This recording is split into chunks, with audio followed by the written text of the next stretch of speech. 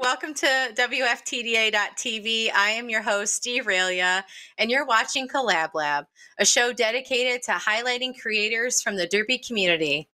Today, I am really excited to bring to you a wonderful group of human beings that I've had the pleasure of working with uh, over these past few months. Um, I'm going to introduce you all to my cohorts, the Stream Team. Uh, the stream team works together to produce shows on the WFTDA.tv. Um, and first up for our introductions, we have Token Redshirt. Token is a producer, a Heinz 57 from the Ottawa Valley Roller Derby in Canada. Say hi, Token. Hi, Token. Up next, we have Rolly, host of Self Care with uh, Blue and Rolly. She is WFTDI's Compliance and Wellness Manager and a licensed massage therapist. Hello, Rolly. Thanks for joining us. Hi. Thanks. Thanks for having me. Next, we have Chykilski, uh, skater since 2013, announcing since 2018, and host of uh, Talk to WFTDA Community Call In. Hello, Chai.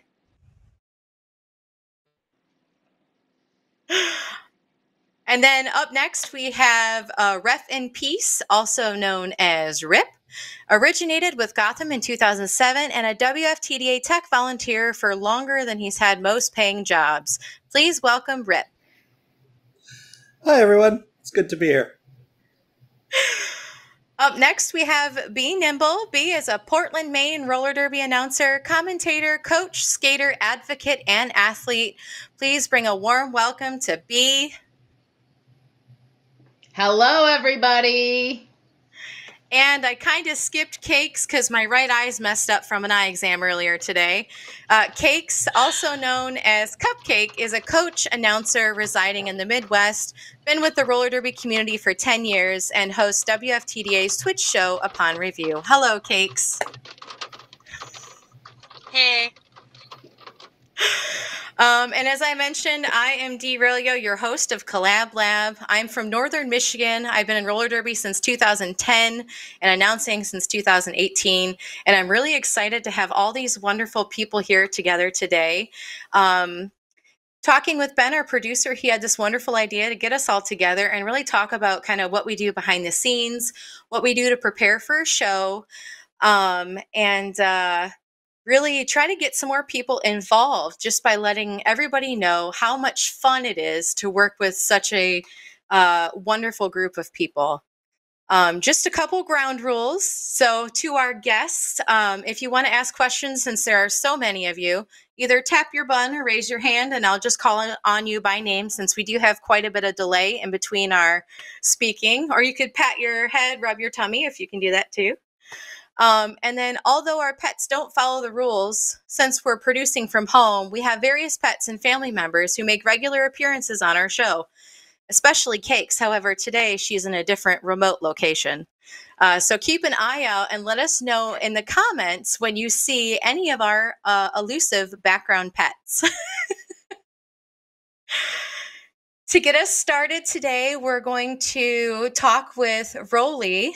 Um, Rolly again, is one of the hosts of Self Care with uh, Blue and Rolly, um, WFTDI risk. Uh, or um, I'm so sorry, I said that wrong. Massa- licensed massage therapist. I think you could do a better job of saying who you are and where you're from. Why don't you just tell us a little bit about yourself so we can get to know you? Sounds good. So I did play uh, roller derby uh, for a few years, uh, and uh, I played for Appalachian Roller Derby and Blue Ridge uh, Roller Derby. And then I became part of the risk uh, uh, management uh, committee. And then I worked my way up to chair. And then I became risk uh, coordinator. So that's probably why you have that title still. And then uh, for the past year now, I've been the compliance and wellness manager for WFTDI, which is our incorporated. So um, I've been kind of working on uh, doing some wellness for the community. And last year at RollerCon, I uh, did a foam rolling workshop, and then I actually did the foam rolling workshop at uh, this uh, year's past championships in Montreal. And so then I kind of came up with the idea why don't we start producing some shows um, and breaking down the foam rolling into uh, different body parts and making it, you know, different episodes for each week. And that's where I got the idea. That's awesome. So, how does your uh, co host come into play? So, Blue is an amazing human, and most people know Blue from RollerCon and lots of playoffs and championships. Blue is also a massage therapist uh, and, you know, advocate of hydration. And her and I have just a really great uh, chemistry, and there was no other person I wanted to do the show with. And she's been wonderful to work with. And, you know, if anybody knows Blue, uh, you know, it's a it's a big, bold personality, and I I just love that. And she is just upfront and honest and intense, and the nicest human I've ever known. There she is.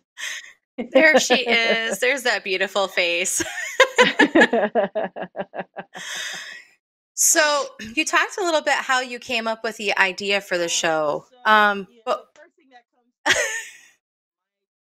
go ahead, take it away, Blue. um, so we talked a little bit about how you came up with the idea, but why why was it important for you to bring this to the roller derby community? Well, you know, when I did the foam rolling workshop at RollerCon, I, you know, I had about 20, you know, people in each class, and I was really impressed with that being something new, something a little different.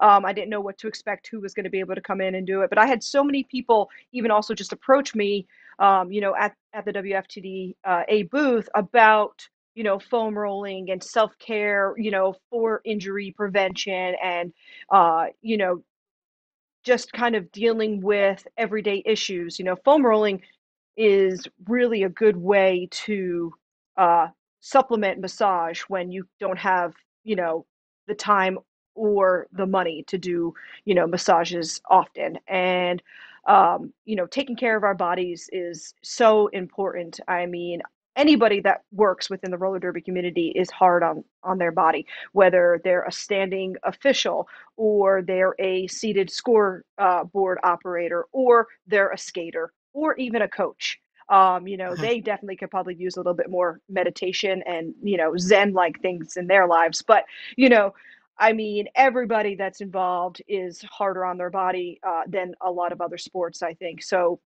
this was just really important for us to get get that out there. Um, and you know, keeping somebody healthy is our one of our main goals is to keep people you know skating or doing whatever position they're doing for roller derby. Um, so yeah.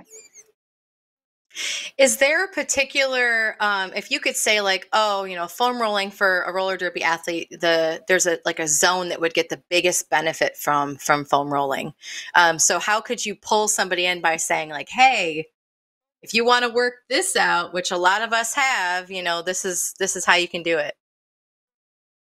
Well, we had to we had to break it down into six episodes because that is hard for us to pick a certain area. But I did pick this footage tonight because th- this is the hips and I made a little joke, and you can watch it on the episode for for the hips about you know Shakira and the hips don't lie, and roller derby hips don't lie. They are screaming at you. They're sore, they're tight, and a lot of things really stem from the hips. You know, and lower back pain, you know, foot pain, calf pain, even you know quad or hamstring pain can all be from the hips. So if you get those hips nice and lengthened and loosened a lot of other issues can really subside. So I would go with is, hips, meaning glutes and the sides of your, uh, you know, hips and hip flexors. Go ahead. The bulk of that area that every roller derby athlete uses, even if you're on the other side of the track officiating or squatting down to put tape or what have you, it's not just the skaters for sure. We all use that lower that lower extremity of our body. Um, so you said you broke that up into multiple parts of an episode. Why don't you give us a little bit of insight on what goes into preparing for an episode of self care?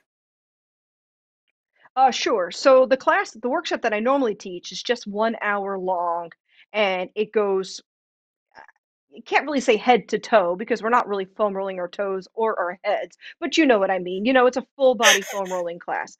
So, although I could probably show you some some foam rolling moves if you needed to for your toes, but um, but yeah. So um, so each week I made sure that you know I was showing all the different muscle groups of that particular area and then um, different angles because you know i was a one person show in my you know house Mm. and um and so you know i had to make sure that i was doing it from different angles and blue was there to kind of help me with you know making sure that i was you know being well seen and, and switching uh directions and things like that. So you know we actually turned that into you know 30 minute at least episodes each. So um i do like puns and i say i, I stretched it out. So I, I made it work. I, I was watching one of your episodes earlier today, and I, I I I think you said something like, "Are you thirsty?" And she just your banter back and forth is it's just wonderful to have you know the the camaraderie and the comedic back and forth. So um, it interests me to watch the show, except for I don't actually have a foam roller. So if you were going to suggest to somebody, is there a certain brand or diameter that you would suggest to help get people up and going so um we do t- we, yeah we do yeah we talk about it in the episodes but basically you know I usually I like the the shortest one that you can find. They're usually all the same diameter. The shortest one, and it actually goes by color most of the time. So a white foam roller would be the softest density. A blue or green will be like a medium, and then black is usually the hardest, and that, you know, is the most intense. So sometimes people don't have the luxury of having multiple foam rollers. So if you're going to start, I mean, maybe I would try to find a smooth blue or green foam roller and you can get them you know you can spend eight dollars on one or you can spend a hundred bucks on a, this crazy collapsible one that you can transport with i mean you know it runs the gamut of of pricing so Do you find if they're supposed to be, you know, like the same strength, do you find that the different brands pretty much produce the same results? yes it's really it's actually your body parts that will produce different results and sometimes different days too just depending on what you did if it was leg day good luck rolling those quads and those IT bands, you know. Um, if you've been on vacation for a week, it's probably not going to be as painful, you know. So yeah, but that kind of led us into uh, getting requests. uh, You know, once we finished the foam rolling, to do some some yoga, and uh, you know, we've had A Bomb on the show who does Sailor's Mouth yoga. I'm not sure if you know about A Bomb. Oh, look at that. Um, and so that kind of led into the yoga part too. So so while we definitely have this beginning series of episodes where it does kind of seem like torture and we try to get you to learn to love to foam roll, we have started to introduce some really nice yoga into our uh, episodes so that you know we're not deterring people or scaring people away. Um, do you have any upcoming guests that you can tell us about? Um, so we've had uh, I did most of them. I did all of the foam rolling, and then we've had A Bomb on for a few shows, and she loves it, and she just fits right in with uh, our craziness. And so um, we're gonna have her back on, and then we just last week had a special episode. We've w- w- wanting to do a helmet fitting episode for a long time, and we actually had Bonnie Thunders uh, on for us doing a very informative uh, helmet fitting uh, episode, I actually even learned a few things, which uh, I'm not saying I didn't think I knew everything about helmets, but because I've been with risk management for so long, you know, I felt like I did. And she was so knowledgeable in all the different types of helmets and shells and all this stuff. It's a really great episode. Well, definitely, folks, make sure you check that out on WFTDA's YouTube channel. I do have a comment over here in the chat from Athena Latina. Athena Latina says, I have bar today. I have learned to love the foam roller. Um, and Ref in Peace says, Athena Latina, how long did it take for the love to develop? I haven't ever crossed that barrier.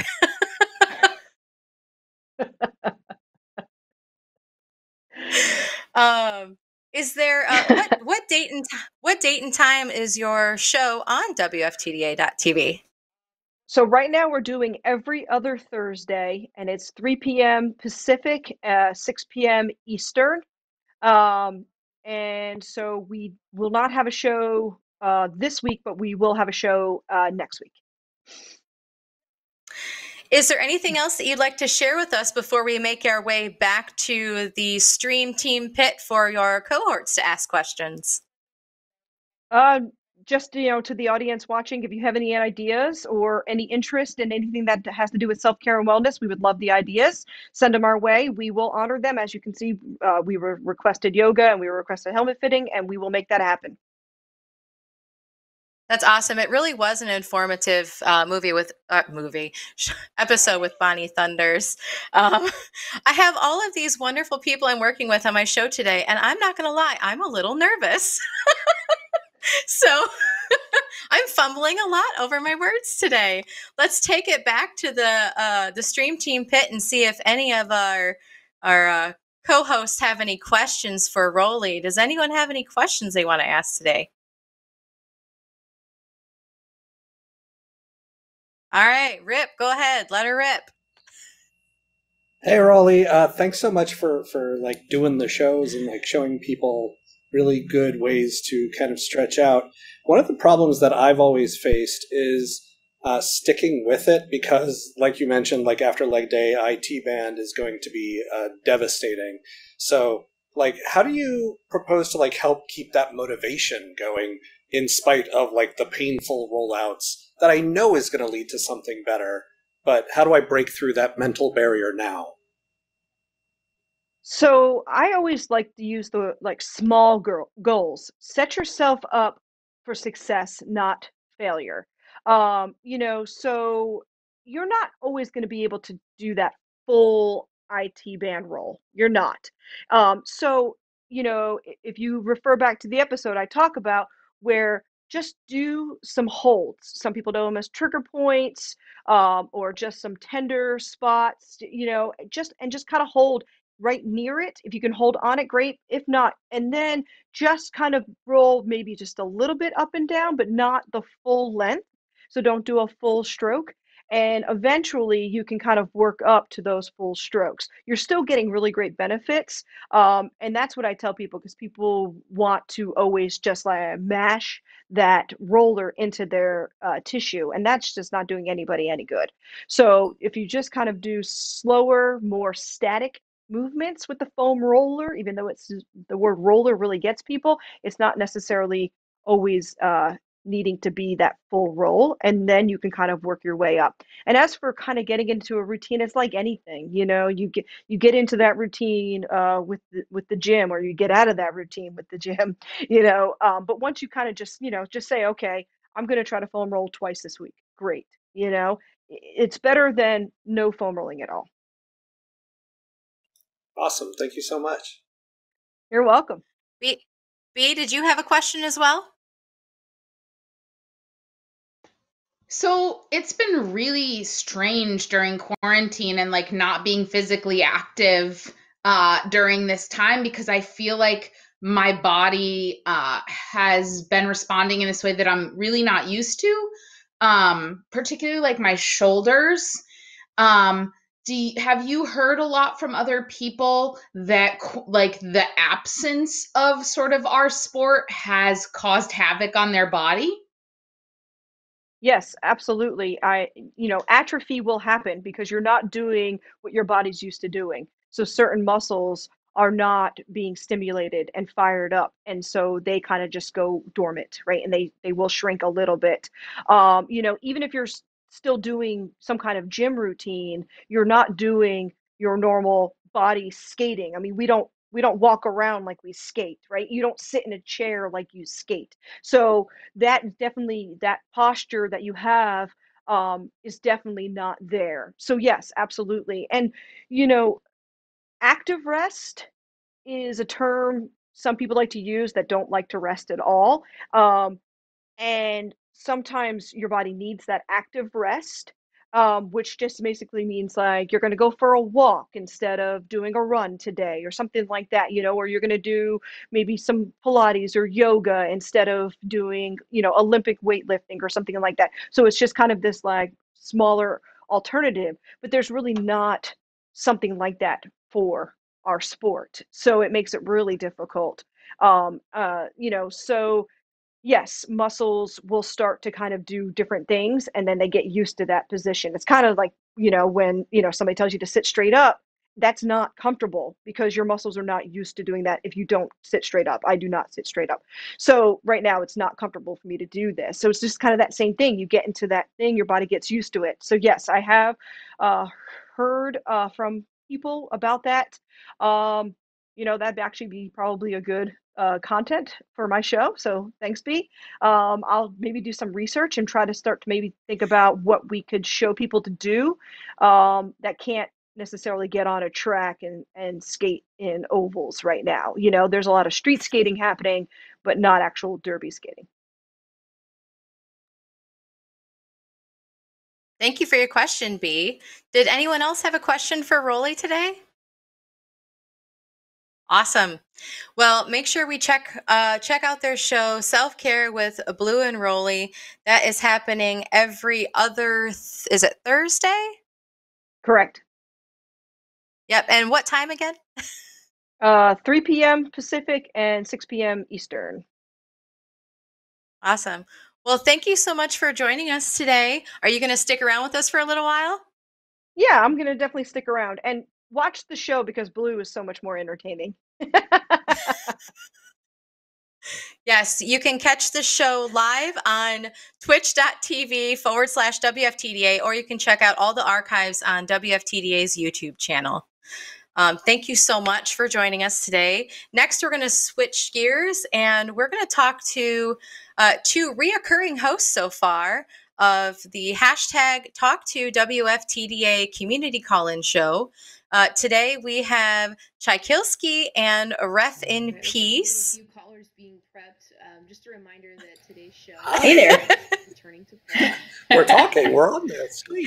There you We're go. You it. are on the air. Yeah, we say that Well, a thank- lot. thank- right? Hi, you are on the air. Please go ahead. Um, I know this. I know Well, this show go- hasn't aged. I know the show hasn't aged well, but I know I always think of like, like Dr. Frasier Crane. You're on the air.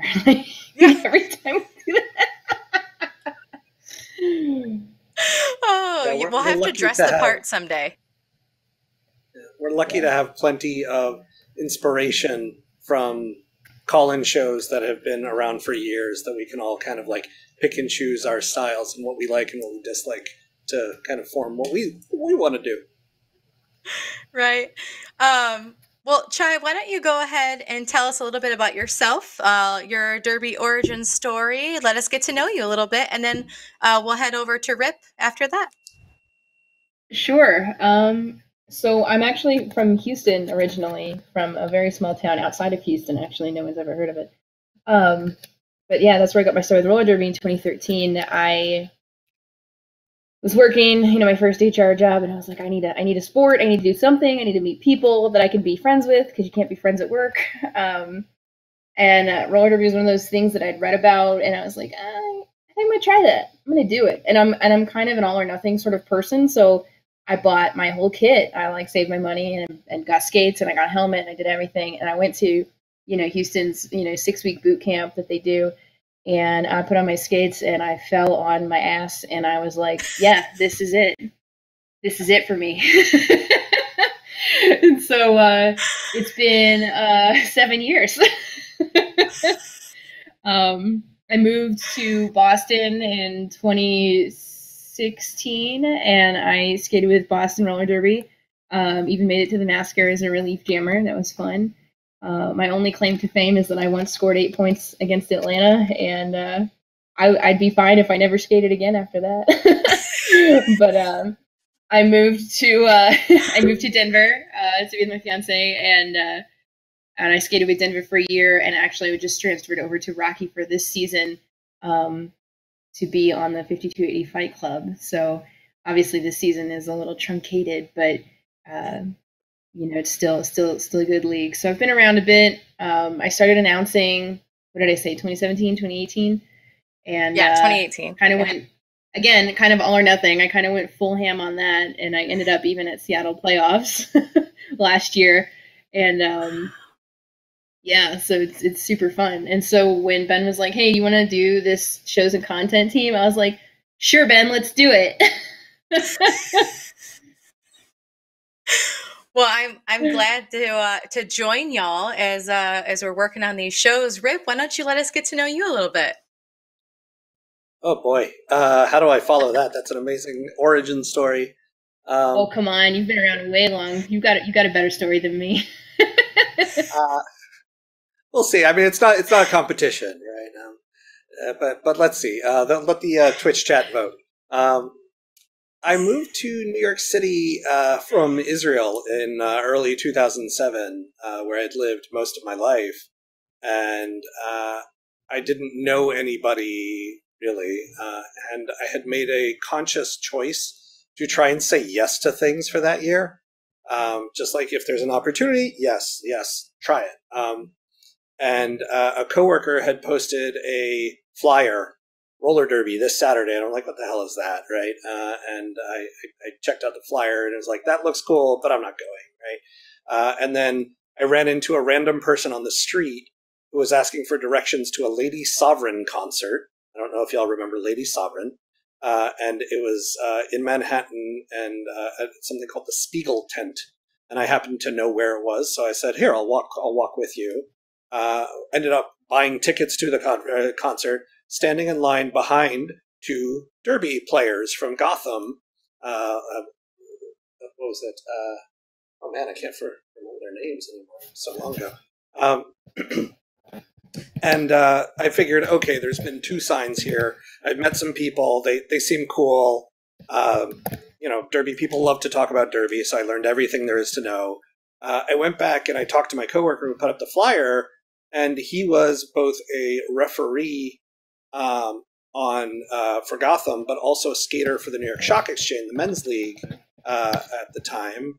And uh, I joined the men's league to start skating and then started volunteering as a referee that same year to pick up more time and learn more about the game. And after two seasons of skating and volunteering as, a, as an official, I decided I didn't want to get hit intentionally anymore. Um, so I kind of like took a break from that. Um, I've been to uh, you know playoffs. Uh, I've been to you know tournaments around the, the, the world at this point um, both you know WFTDA, MRDA, JRDA tournaments, just just the, the hat trick of all three. Um, and it's it's been a wonderful wild ride, including like the first ever World Cup in Toronto, the first ever men's European champs in Manchester, England, um, and when uh, when they were looking for volunteers to help out at the Gotham kind of web team, I raised my hand. I'm a software uh, developer, engineer, architect, you name it. The titles don't matter. But um, I'm in I'm in tech. I know computers, uh, and uh, i started adding more volunteer hours there. And then when the WFTDA was looking for some more technology volunteers, I volunteered for that too, because I have so much free time, which I don't, and I want to give it all away because that's that's what we do. Um, and then uh, I got to know uh, the the WFTDA.TV team, um, and last year I got to announce the Team Indigenous versus Jewish Roller Derby game at Championships in uh, in Canada, and that was my first time announcing, much less broadcast. And it was such a great and, and humbling experience that I just said, how do I how do I get more involved? How do I get uh, to meet more people who do this all the time uh, and continue to kind of pick up what what this what what promoting the sport of roller derby is all about. Uh, so when the community call-in show uh, opportunity came around, uh, I raised my hand and said, you know, I, I know how to listen to people talk. Um, it's part of active listening, and uh, Chai and I took the first couple episodes, and it's been a whole ton of fun ever since. Wow, what a what a game to call for your first ever roller derby game. Not just because of the athleticism on the track, but you know, just the historic moment that took place there as well. That's that is amazing. And we actually just had um, that game on upon review, which we'll talk about a little bit later in the show. So, Chai, I'm gonna ask you a couple questions here. Why don't you walk us through? I know you do a lot of stuff behind the scenes. I'm seeing Google Docs updated all the time when we're chatting in Discord. So, why don't you kind of run us through some of the things that you do throughout the week to prepare for the show? Um, sure. I'll, I'll give another credit to Token, who actually ends up starting a lot of those things, and I just end up finishing them. um, so yeah, shout out Token for helping with those. Um, so yeah, so we we kind of decide by committee, you know, what we're going to talk about the next week, and um, as far as script goes, I just alter. You know, I mean, I wrote the first week script, but now I just kind of alter that script, and we have some like stock things that we say different times because um, it is a call-in show and it's you know there's not a lot of talking actually that we have to do. Um, that i watch you know i keep an eye on the news whatever we're talking about whatever's relevant. Um, derby news obviously and right. um, you know i say hey i'm looking for an article on this and and you know it'll show up in show planning somebody's like oh hey i found this. Add this add this. And i'm like cool cool add that. And you know I'll work in that bit. And then um, the, the stuff i have the most fun writing is is honestly kind of like introducing the topic um, and after the first week, it was like, okay, I think we need to give a little more context for what we want to hear because I think people enjoy like having prompts in a way. Um, so, you know, we try to give them a little more meat to call in about, get get the brain juices flowing, that kind of thing.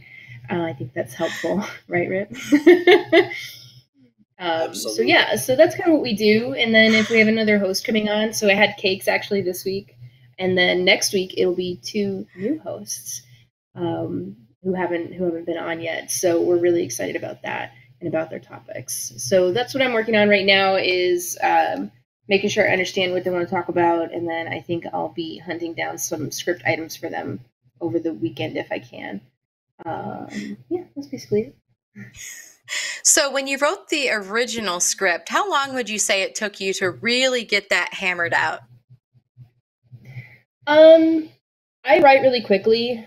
So honestly, probably like an hour or so to, to get it out, but then also I spent a lot more time editing. So it was like, okay, how do I say this? Let me say this out loud to myself. Do I sound like a jerk? No? Okay, let's keep it. Or that's not clear. Let's change that. And then, you know, we get like Rip and Ben and uh, others, you know, to take a look. And if they're like, mm, I don't know about this, and then put in a comment, and like, yeah, usually I'm like, yeah, okay, I'll change that. I don't care. Um, it's it's I'm pretty open to you know people's changes and things like that. I'm not married to anything. Um, so yeah, a bit of word vomit, a lot of editing.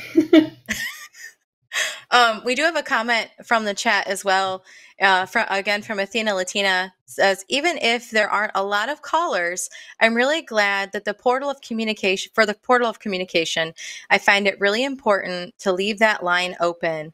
You can hear from all levels of membership, which uh, you know just us discussing the show was something that was really important to us to make sure that everybody had a level playing field for a voice.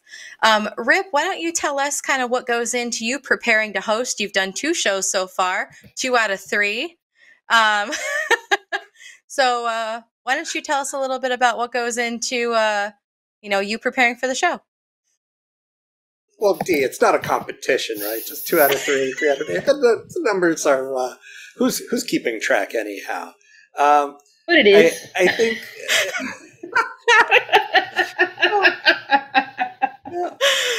um, sorry, I'm sorry. Continue. Yeah, so like like Chai said, uh, the, the, the prep is very much a collaboration, right? We have a bunch of uh, producers and and people behind the scenes that aren't on the show, but are there to either work with topic prep, information gather, or even during the show, call screening and like helping people figure out the technology. So uh, when going into that, we try and think about okay, what is the best way for people to get into the show? Uh, how do we get the message out? Um, we've got some amazing graphic art uh, for our social media sharing. That uh, again, um, I, I, have very little to do with that, but I can provide uh, content advice. But not, I'm not a graphic artist. But uh, the, uh, the, the the team really comes together to kind of and and again. It's on a weekly cycle, so there's not a whole lot of time after one show closes before we immediately launch into planning for the next show it does put me a little bit in mind of like uh, a weekly live show, like I don't know Saturday Night Live or or another uh, show. But the like Chai mentioned, the nice part is we don't have to say a whole lot, right? We're not here to talk about our opinions and our perspectives while on the air.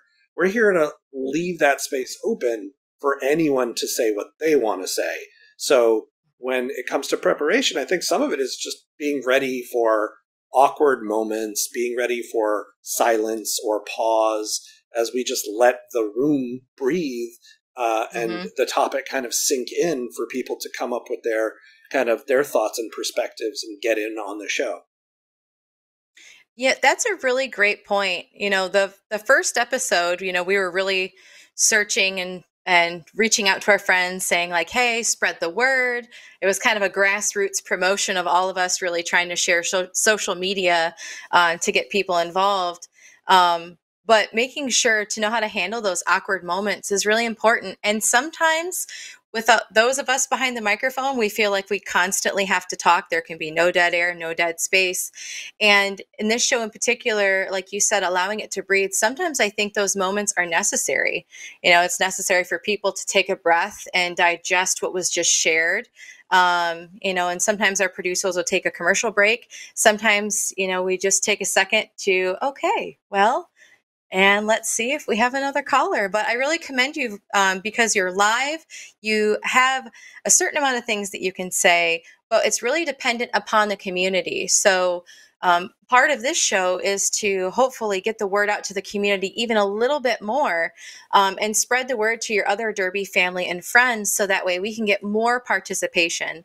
Um, so that way it's a community calling in for the show. And uh, uh, even though there's only a few, um, more would be better. I, I feel as though the more voices that we can get amplified and elevated, the better. I, I wholeheartedly Definitely. agree. Uh, um, that's one of the like the grounding principles of of having the show uh, be a live platform for anybody, regardless of if they have like one Twitter follower or a million. Right, your your voice should be heard, and if you want to have your voice heard, call in. We'll we'll listen to you. We'll hear you out. Yeah.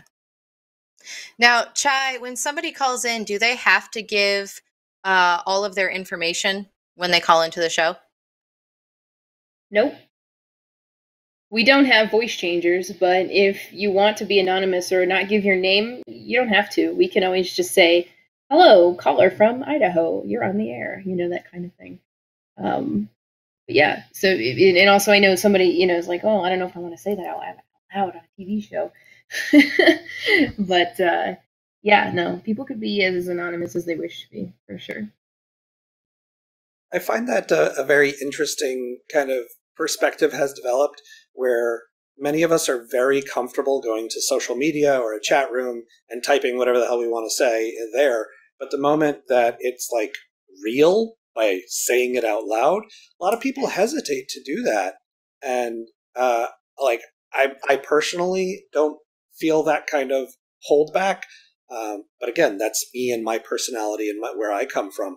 But uh, I've always said that the way you get better at something is you start out by being bad and then you get better. So if there are people who are like, I don't know what to say, I'm not really sure, just give it a shot. There's no there's no yeah. scorekeeping, there's no grade. Uh, we just love hearing from the community about whatever they really want to talk about. Exactly so. And I know um, not this week, but last week we actually had a couple of callers not from the United States, which was super awesome. Um, and I know English probably wasn't their first language. And I guess just shout out to the non-native English speakers out there. Um, please don't apologize. Your your English is way better than you know my French or, or my Spanish. Like it's it's it's it means so much that you're even calling into the show um, to say what you can, even if you feel like it's not the way you want to express it. So thank you for for doing that. I have a I have a couple things from the chat here I want to share with you if you're not following along already. Um, so PDX Speed Bump says we set specific rules for call in that the hosts actively listen and don't talk. And now that these two are off the clock, they're vicious to one another in keeping score. um, and we also have uh, another another question down here for Rip. It says, uh, "Do you do anything to get in the headspace of refing or moderating a call-in?" That's a really good question. I, I hadn't thought about that explicitly, but I can definitely see a parallel um, in in officiating in general. Like I'm I'm there for the game, not for a team, not for a player and it it takes a, a, fair amount of like practice and focus to like mentally distance myself from like my league mate my friends and just be like this is this is what's in front of me right now and on the call in i feel uh, like that has kind of bled into there where it's like i'm not here as me rip i'm here as a host for the community um, and that helps me kind of like just settle my, my brain for a little bit and say, yeah, this is not about me. It's not about what I want to do. This is about other people and, and kind of just being there for them. So yeah, there is a little bit of overlap and thanks for calling that out. I hadn't thought about that. what about you, Chai? Is there anything you do to get in the proper headspace? Yeah, I mean, as a skater, obviously I gotta listen to like my chill music, so I'm not too excited to play. Um, but for the show, actually, I just spend some time going over the script again, um, thinking about what we're going to be listening to people about that that day, um, and you know, obviously, last minute news checks to see if anything happens. Um, obviously, this past Monday, we were going to talk about problematic Polynesian language and roller derby, and a, a certain uh, NFL football team that will remain nameless for now um, decided Monday that they were going to change their name from you know what to something new. So that was some something that I was happy to include on the show. Yeah, no, just you know, take a few minutes beforehand. Like, can we read everything? Make sure I don't stumble too much. Uh, not too much of a stutter, but um, yeah, it's pretty chill. And then uh, one question I have is so I know you folks are doing a lot of searching for for content for the show and checking out what's current events and news um, and such. What are some reputable sources that you could recommend, especially for the Derby community? Reputable. You want to start? That's that's tough, right? Reputable. Like what is reputable in this day and age, right? Um, and I think that's something we all struggle with. Uh, mm-hmm. We'll look for specific keywords or searches, and um, you know, if something catches our eye, we'll take a look and say, okay, this person, uh, they just look like a, a, an online ranting person. Maybe not something we want to highlight or or consider. But other people, oh, they're engaged in a conversation on a particular like sticky topic. Um, maybe that's something we throw into our backlog of, of things that we could talk about. Um, it definitely helps when there are big news media splashes. Um, I'll, I'll, call out the one that we did for Return to Play, where Wired Magazine had covered the WFTDA's uh, Return to Play guidelines, which is phenomenal news and just overall great exposure for roller derby, but also kind of draws a highlight to say, you know, there are leagues out there that are doing things counter to that uh, Return to Play guidelines. Um, and, you know, this is we're all we're all volunteers or well many of us are volunteers uh, but we're all doing this as kind of a hobby and for fun. So like let's consider what is it we're doing um, for our fun times right? So when we talk about like uh, a problematic language it's how do we treat each other right?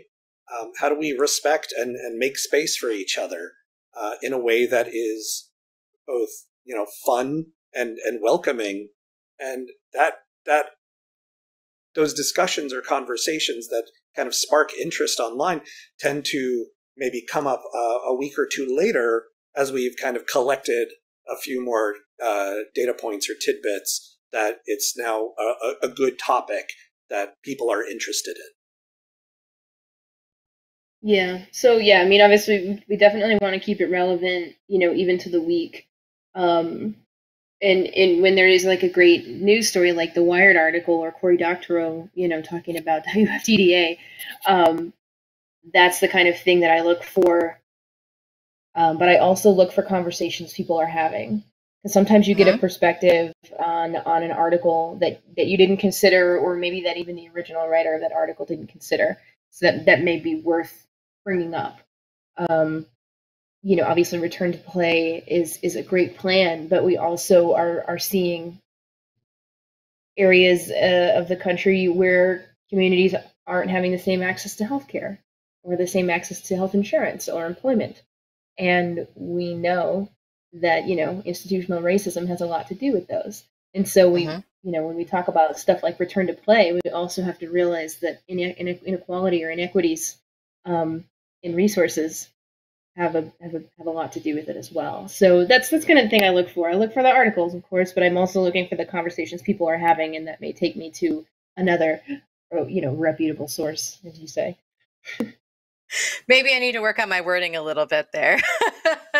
um, Oh, it's But- okay. Everything's ironic. It's 2020. Uh, I know we're also looking for uh, viewers to send in their ideas and their topics as well. Um, you can reach the shows and content team um, by commenting in the Twitch or the YouTube. You can and let us know in the YouTube's chat um, uh, what uh, what you're wanting to hear. Uh, you can also email Quad Media, and we'll make sure to put the email link for that as well.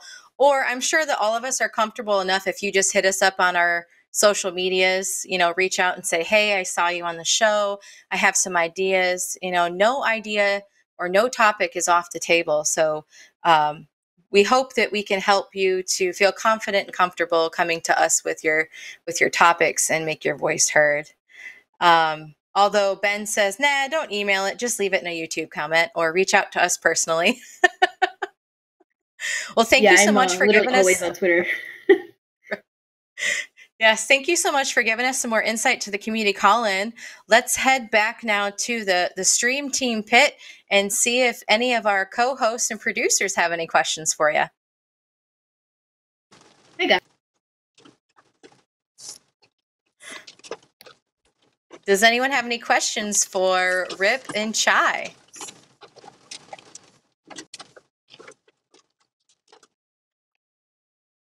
Token? No? No? All right. well, we're going to move on. Thank you so much for doing such a thorough job. Can you guys let us know what day of the week and time that the Talk to WFTDA community call-in show is? Yes, that is on Monday nights, and it is at 8 p.m. Eastern. That is 6 p.m. Mountain Standard Time, where I am, and 4 p. no 5 p.m. Uh, West Coast, West Pacific Time. Yeah, I know time zones.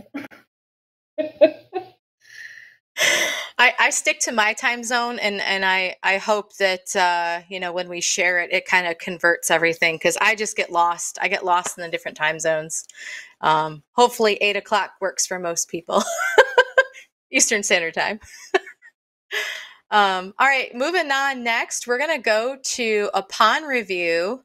Um, to talk about upon review today, we have Cakes and Token Red Shirt. Um, hello.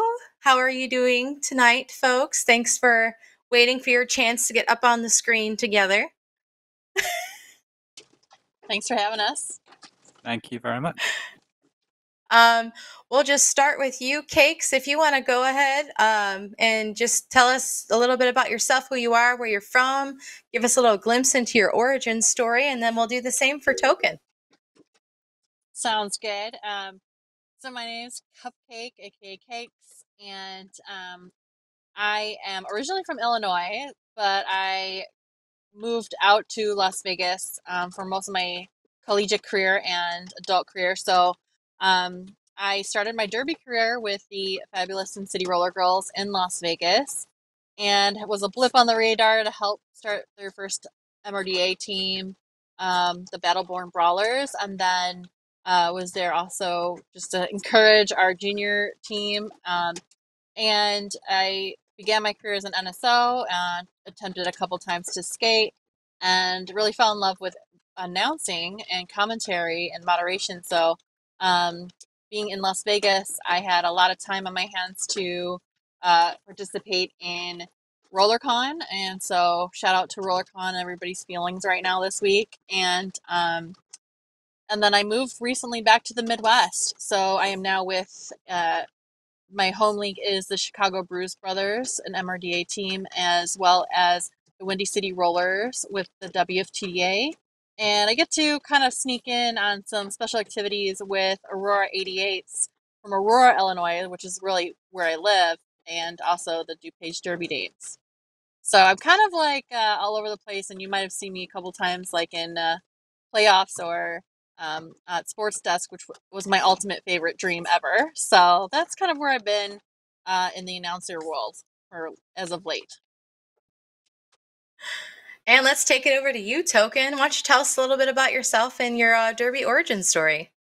Well, um, Derby origin started in 2017. Uh, uh, I'm um, my my real non-Derby life whole thing is teaching, uh, and I was working in a school here in Ottawa, and I uh, excuse me made friends with uh, somebody who'd just come back to Canada from the UK uh, within about a year that I'd done the opposite trip. I'd done the UK to Canada, um, emigrating, and so she was returning, and said that she wanted to get back into roller derby. So I started looking up uh, roller derby leagues in Ottawa, found one. Um, they wanted volunteers, and I've always been a massive, massive show off. Um, get me in the right, get me in the right situation, get the right number of beers in me, uh, and I I can be quite the entertainer. Um, it's kind of why I like teaching a little bit, I guess. Um, so I emailed them and just said, "Do you need an announcer?" And they said, "Sure." Uh, have you ever done it before? And I went, "No." And I said, "Have you ever seen a Derby game before?" And I went, "No." Uh, I did watch Whip It. Does that help? And they were like, "It's not like that at all." I went, "Okay." So uh, they invited me along for the first um, invited me along for their uh, first game of the 2017 season, and said, "Can uh, then like two days before said, can you run the can you run the DJ booth?" So I, I spent the next eight hours stationed behind iTunes making playlists. Uh, other media streaming services are available. Um, and then the night before, they said, "Can you call the first game?" And I went, "What? no." But wait, should I? Yeah, why not? Let, let's do it. So I did. Um, and it was interesting, which is a polite way of saying it was a dumpster fire. Um, my first live derby game, um, my first live derby call, and it just went, wow. Um, like this, really, but with a microphone, uh, a bigger microphone, and a larger audience because there were at least 100 people there, and that wasn't nerve wracking at all. Um, but I just went back and did it again and again and again. And I just keep doing it because I love it. I love the sport. Uh, the people are great. Um, and it's one of the first times that I've never felt that I've had to put on a show until I'm actually announcing. Um, the Derby community has just been very welcoming and very accepting. Uh, and even when I just get there and ignore everybody and just hide away in a little corner because I'm an introvert and I need to conserve energy until showtime, and then do my thing, and then pack up quietly and then leave in my black car in the dark shadows like I'm some red shirted Batman. Anyway, that was 2017. Uh, 18, I did a couple of tournaments. 19, I did my first postseason uh, down in um, Pennsylvania with our director. Um, so when they were saying we want more people for the shows and content team, I went, uh, "Hi, I'm a massive show off, so I'll do whatever you need." and they were like, "Cool." And here we are. Oh, and here we are. Well, I mean, I think the group wouldn't be the same without without you. Well, with any of us, but um, I think we all kind of play off of each other a little bit, and that's what really, really makes us, you know, the the stream team who works behind the scenes. Um, we do have a question in the chat though for you, Token. It's a little off topic, but they want to know what does Token teach? Um, bizarrely, science, chemistry, and math. Because nothing Wow. screams performing arts like science, chemistry, and math. Uh, I, I've um, somebody put a pair of drumsticks in my hand when I was ten, uh, and I've been a performing musician ever since on stage. And there's something I enjoy about entertaining a crowd, be it musically, be it making them laugh while I'm on a derby call, be it uh, entertaining the refs uh, by calling out something that they did. Um, because I will regularly shout at the refs, like, "What does this mean?" Because I don't know what this means. Can somebody tell me what this means? And they go, "It's no pass, no penalty, or no pass, no point." And I was like, "Thank you." Now I know what to call. You know, anything like that. It's definitely important to commu- I, I communicate to officials and NSOs and and the audience too when announcing as well. Um, getting back to upon review, let's talk a little bit about what goes into putting the show together. Um, Cakes, let's let's start with you. So, how do you prepare for hosting um, upon review? Um, I like to watch the game over again and just kind of refresh and remind myself what happened because I typically take notes and stat track for almost every game. Um, but tip, you know, we we're now in like month I want to say seven, eight since I we've last done any derbies, and so I've had to do some uh, a lot of you know research on it. Um, and another thing I do is you know either put together a script or a bug token um, saying thank you so much for like doing a lot of like back end stuff like getting facts and, and producer stuff and um and contacting the teams which again i just heavily rely on token uh, to get the people involved um, otherwise i'll just shout out to people on twitter and try to communicate with people that um, luckily i have a personal connection to and try to encourage them in that way um, you know via facebook or uh, twitter or instagram um, but other than that like i really just try to not think too hard on it and just enjoy the people I get to talk with and try to have fun because it's a, another community driven show. And I think um, the best part about Derby is that it brings a lot of different people together. And so when we all, you know, hang out, it's like a campfire. We all hang out and watch a show, and it's really, really fun. So I just kind of let the flow happen, and I just make sure that you know nobody cries. Um, and you know that's pretty pretty easy. We just you know keep the conversation going, whether it's specifically about what the play is going on or if it's about what happened behind the scenes. And I think people are very interested in knowing, you know, the athletes behind their training and their thought process. And I think that's really fun to talk about. So, um, kind of tell us a little bit about the format of the show. I see on the screen here there's you hosting at the top, and then there's six other other guests. Um, so why don't you kind of? I know you said you just kind of let it flow and let the conversation happen, um, but as you're going through and watching the show and preparing ahead of time, what kind of things are you looking for in the footage um, to engage conversation with your guests? Um, so I'm really just kind of looking for um, bits and pieces that they find interesting. It's a lot like uh, the community call-in show where I, I try to stay kind of more on the back end and keep the conversation flowing with questions. Um, but typically, I like to ask a little bit more what they were thinking, what position they were playing, what were they getting to do to prepare for the game, what was it like being in the arena, how awesome was that polished concrete floor, little things like that that everybody like has questions about, and so like you just go back and into the memory of what was it like that first time I stepped out on a new surface for the first time. You know, all the questions you would want to know that goes into the game. So really, I just kind of get a little personality to come out and try to encourage them to share either about the game or about themselves and um, that's i think that's part of the magic of upon review in general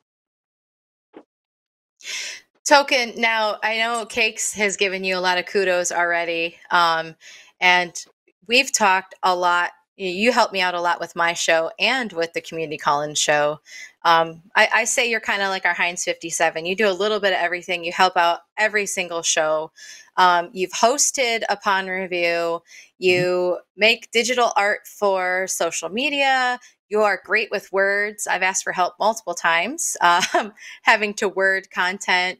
Um, you also run Discord, and I also. That's right. There he is. yes, um, that is still the same beard. still the same beard. Um, you also run our Discord channel uh, during the community call-in show. Um, so you have a broad spectrum of things that you do for us in the shows and content team. Can you give a little bit of insight as to what somebody who might be wanting to help coordinate some of these shows, kind of what the communication looks like behind the scenes? Uh, it's basically me writing a buttload of emails. Um, getting getting the the uh, teams together is it's an episode of um, here's how we herd cats by somebody who's not very good at herding cats. Uh, it is a real logistical nightmare trying to find uh, a date, a time, a place, a time zone that works for everybody. Um, so even while you were talking to um, Chai and Rip, I was emailing some people that have emailed me in the last couple of days trying to set up for shows we've got coming up in the next month or so. Um, it, it's a case of just trying to get hold of the right people and say, "Are you interested? Can you do this date? Can all right, that day doesn't work. Can you do this one?" Um, that's the first stage. Is just can you write an email and can you then respond to that email and negotiate with, as you can see from the screen, six other people, uh, seven if you include a different host that isn't me, um, to get them on schedule, and then eight if you include our director. So it's a lot of communication. Luckily, I work in a communications based field uh, that also involves a lot of public speaking. So when it comes to um, hosting a show, uh, you know that's a skill I can fall back on. And and one of the things that teaching gives you is uh, it gives you the ability to take a question, reframe it, pass it on to somebody else, and ask them what they think. So that's kind of even though I, I wouldn't necessarily consider the Gem City Toronto episode to be my finest ever presenting work, it still there was a lot of um and stalling. Uh, I think we did pretty well to keep the conversation moving uh, between everybody. Uh, so that was great. Uh, with regards to the other um, shows and the other work that I do, it's a case of just uh, I find myself bored and I want to do something. And if I can't figure out, if, if I don't know how to do something, like we've been doing with the the, the graphics, um, I I don't know how to get graphics ready for Instagram. So I quickly talked to you and what application you use, and then logged into the application, then figured out how to use it, and then built the thing, and then just went, oh, so all I have to do is edit the text. yes, great. So uh, I'm just going to use this for about three months, and then I'll change the image. We're good to go. Um, the rest of what happens is generally in our production meetings. If somebody says, "Oh, wouldn't it be great if we had a document that did this?" I'll, I'll, uh, you know, I'll take the thinking out of it and I'll just do it and set it up and then let other people use it. And then if we don't use it, I'll delete it and try and come up with something else. It's I I've had a lot of staff meetings in my career which could have been emails, and frankly, um, I'd rather take the message and then put it to use while I've got the energy and the bandwidth to do it. If you could try to recruit somebody to help out with the shows and content team based on all the things that you have on your plate, what would your kind of call to action be for for those folks out there who might be watching this going, hmm, I wonder if I could be of some help? Uh, yes. Just email email us, get in touch with us on social media, come join the shows and content team. Whatever you can do, we can make use of. Uh, and if it means I'm doing less, then I'm doing less. That's not a problem. I have no problem with somebody else going, hey, you've got 48 things on that plate. Let me take two of them so you've only got 46. I'm like, yes, great. Thank you. Now I'm more balanced.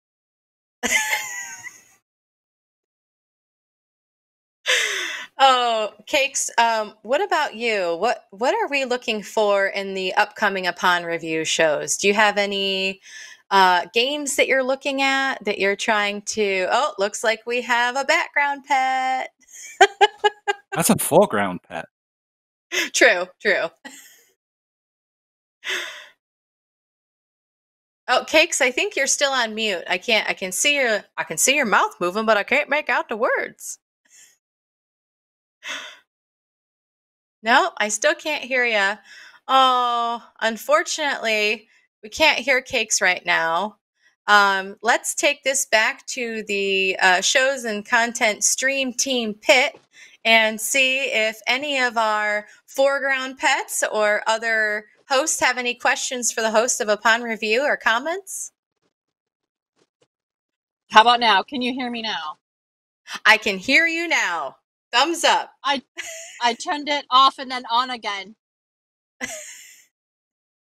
Uh, but to your question about rev- having more people on the show or uh, next uh, few guests, it really just depends on the scheduling. And if your team is interested uh, or you have a really special game you like, please reach out to us. I love here. I check Derby Twitter religiously, so do check that. Oh, we got some more puppers. Honestly, we should just have a puppers only show. So, um, teams, if you have a pupper, please let me know.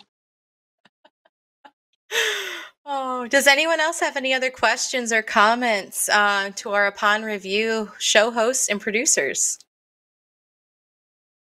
All right, I'm just, I keep looking at your pups, Chai. um, up next, we are going to talk to Be Nimble. Uh, let me get down further in my script. Uh, so, B, why don't you tell us a little bit about who you are, where you're from, give us a little bit of your Derby origin story, and then we'll we'll go over some questions.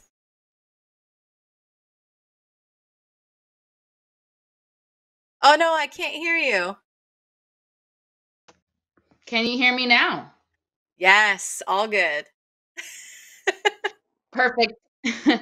so, um, I, I've been skating uh, in Derby about I don't know somewhere around ten years, um, and when I decided not to skate, I started coaching. When I decided not to coach, I started announcing, and, and like eventually everything of came together. Um, and Gretchen Little, who I call my fairy godmother, um, really took me under her wing and gave me an opportunity to start now here in higher level games.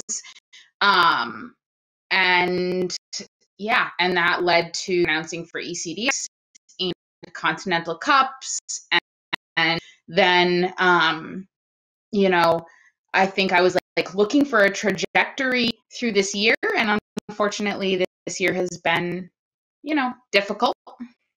Yeah. Um. So most all three, a coach, a skater, and an announcer. If you could choose one of those, do you have one that you feel you've connected with more than another? Um, I always wanted to be a sports broadcaster, so um like from being a very young person um, involved in sports, that was always something that I wanted. Um, I ended up going to school for screenwriting that kind of like curtailed away from the sport aspect. Um, so, uh, yeah, I think doing the commentating and announcing piece has really been just an incredible opportunity for me to uh, achieve things that I had wanted to for a long time. So what what drew you to the shows and content team?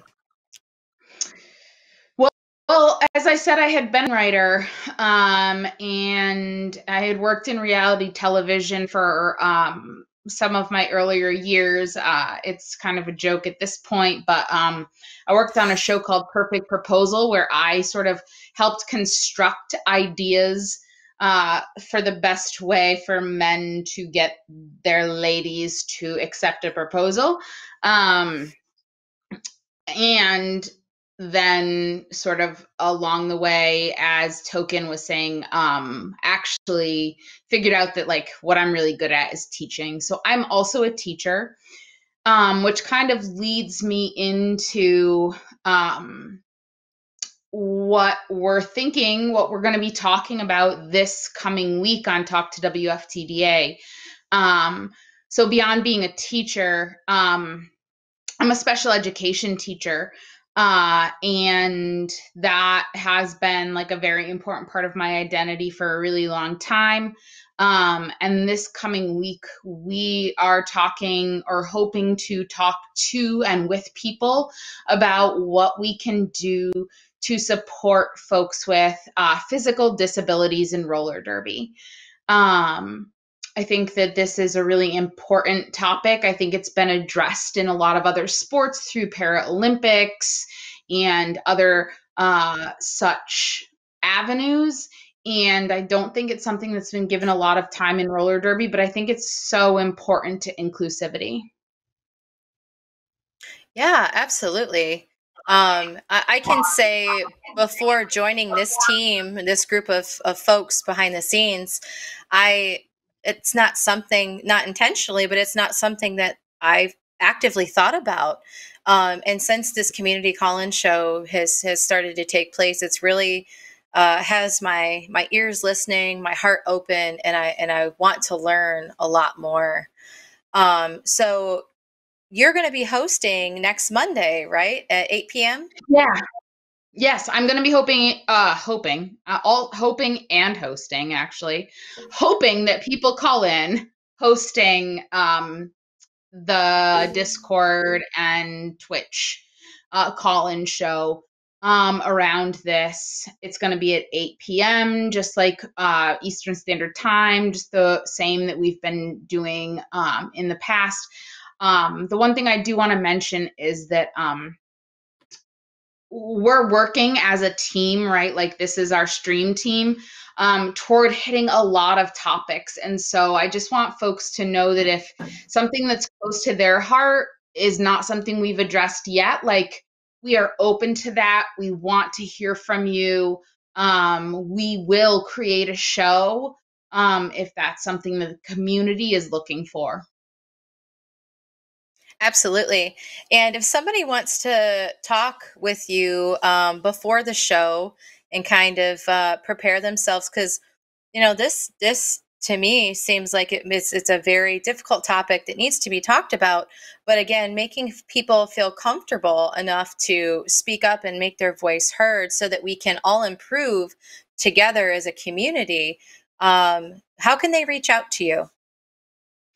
Well, they can reach out with the hashtag talk to WFTDA if um, they felt, uh, you know, that they were comfortable enough to use a hashtag to communicate.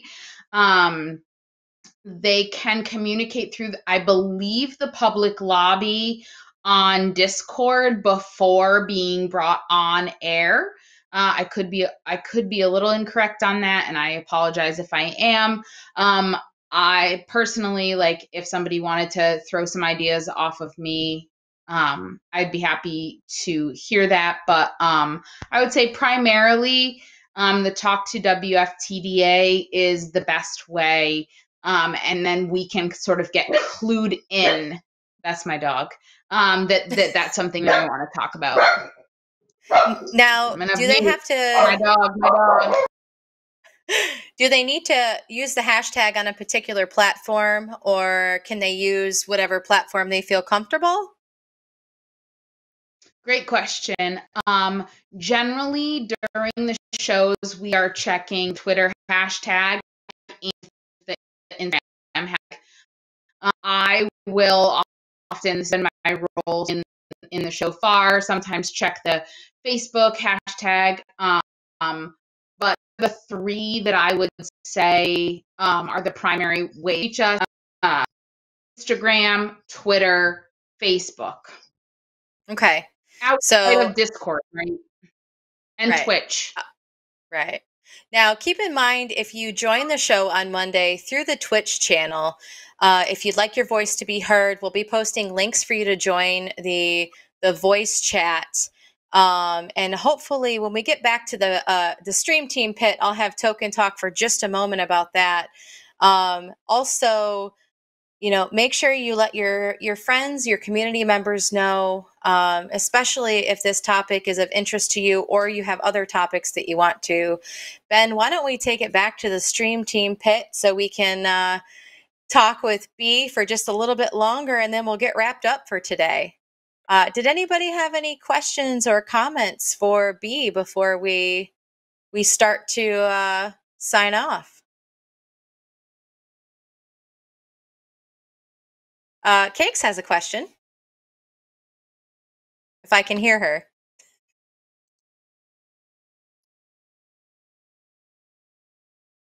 No. So sometimes when we produce live shows, trying to there are say is that I covered it all. right? uh, you know, technical difficulties do happen.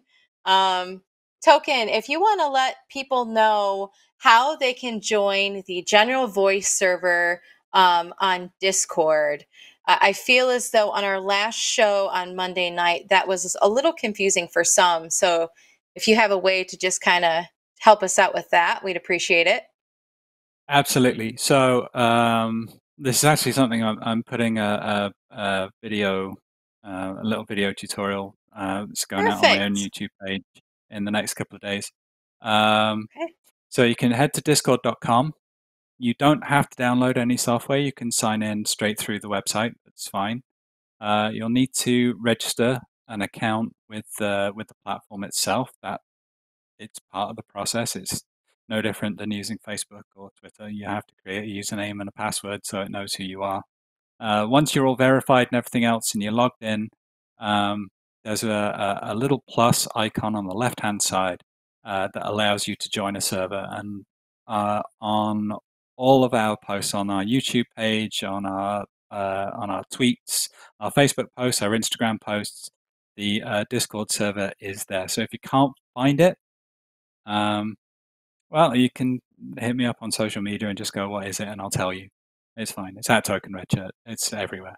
Um, and once you're in, you'll join the welcome lobby. Go into the public lobby.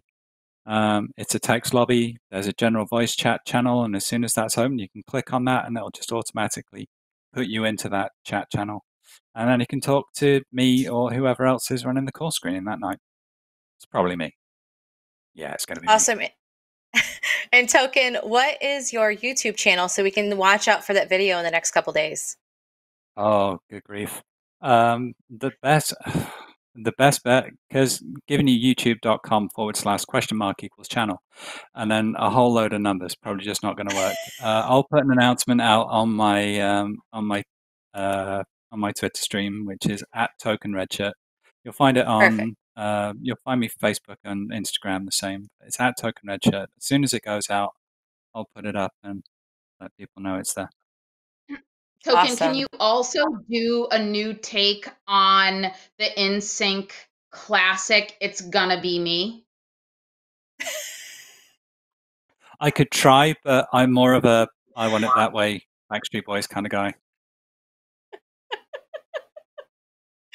Oh, as you can see, this is kind of how our conference calls go for before and after shows. Um, Rip, I was actually, I, I had in my script, I was going to ask you to change your green screen, but you're in a different location today. you're not in your super cool chair. Yeah, uh, for this one um, today, I wanted to just take a different perspective because this is a different show, uh, Yeah. and you know when when I'm not in show mode, it's like this, this is me in the on the couch in the living room. Oh, well, I just want to take a moment to thank each and every one of you um, for joining me on Collab Lab today. Um, as I stated at the top of the episode, Collab Lab is really a show that came about um, in our shows and content team just through a, a slew of discussions. Um, the primary purpose of this show is just to, to bring different collaborators from the roller derby community together to talk about how we can better the roller derby community and better ourselves. Um, so, what I'd like to do before we say goodbye is we'll just go to each one of you. Um, if you want to you know, leave us with some positive parting words for 2020 because, you know, we could all use a little more positivity in our life. Plug your show, um, and then we'll say a group goodbye, and uh, we'll we'll get you guys all on your way, or folks on your way. So, Token, let's start with you. Never give up, never surrender. Uh, Roly, how about you? Stay gold, pony boy. now I'm showing my age. No, uh, take care of yourself first. Really important, and then you can take care of others. Very good point. Chai, what would you like to leave us with today? If your musical score doesn't include cannons, you want to rethink that. Love it. Love it. Rip, you're on the mic. Uh, remember that we're supposed to be having fun. This is this is what we're we're trying to have fun here. All right. Well, you should join our fun shows and content team, Cakes. Can we hear you this time? She said, Can you hear me? And that is a no. Oh, Cakes, I'm so sorry. No, nothing yet. But Cakes will leave some comments in the YouTube channel stating her positivity and her goodbyes. B, let's take it back to you. Most positive thing I can think of is superfragicalistic expialidocious. oh, well, thank you all again for joining me. Um, I really appreciate your time tonight. Um, for those of you watching, please make sure you check out all of the shows on the WFTDA.tv shows and content team. Let's say goodbye to all of our stream team. We hope you join Bye, us. everyone. Bye. Bye. Bye. Follow the yellow brick road. 2020 has been an interesting year to say the least, and I'm so grateful for this group of people. Um, without them, 2020 surely would prove to be much less enjoyable. Um, watching on Twitch, hit the heart in the upper right hand corner. Uh, YouTube, hit the like button, subscribe, and please don't be shy. Leave a comment on YouTube and tell us who you'd like to see featured next on Collab Lab or on any one of our shows and content stream team shows. I've been your host, Aurelia. Till next time, take care.